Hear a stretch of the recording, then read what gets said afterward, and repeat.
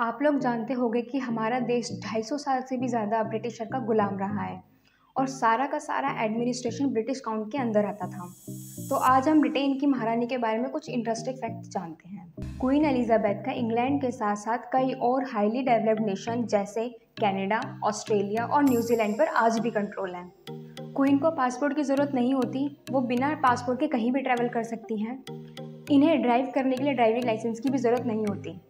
उनका खुद का एक कैश एटीएम होता है, जो कभी ख़त्म नहीं होता। उन्हें टैक्स देने की भी ज़रूरत नहीं होती, लेकिन वे फिर भी टैक्स देती हैं।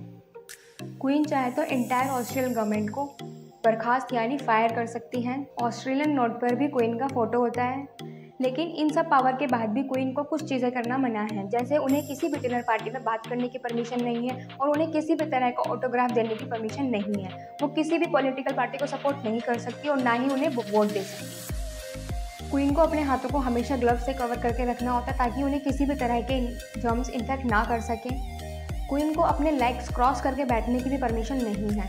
ऐसे ही इंटरेस्टिंग फैक्ट्स को जानने के लिए हमारे चैनल को सब्सक्राइब करें। Thank you